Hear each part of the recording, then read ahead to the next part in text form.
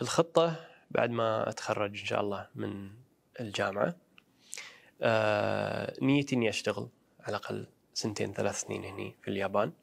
واكتسب خبرة يعني التطبيق لهذه الدراسة الموجودة لأن أدري أنه يعني عندهم يعني خصوصا في اليابان التطبيق لهذه الأمور يعني يمكن مدروس أكثر. فنلاحظه يعني بكمية أكبر أتوقع من الكويت.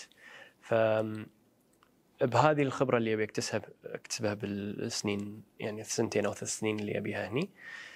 آه، إن شاء الله أبي أرجع الكويت بعدها وأبدأ أطبق المفاهيم والدراسة هذه. شلون نقدر يعني نطبقها في مدارسنا المدارس الحكوميه في الكويت خصوصا؟